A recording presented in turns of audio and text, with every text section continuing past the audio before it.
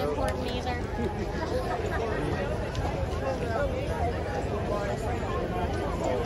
How you doing, sir?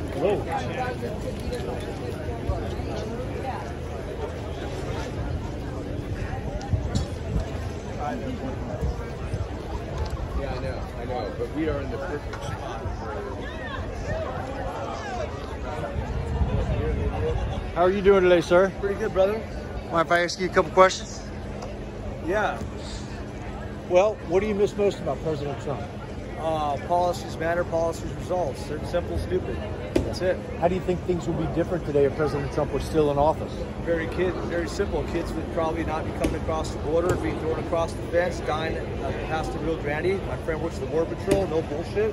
They're finding kids head down in the Rio Grande, floating on rivers. They need body bags. Like I said, policies matter, policies results. The border is my biggest issue, brother. Appreciate that. That's you it. have a good day.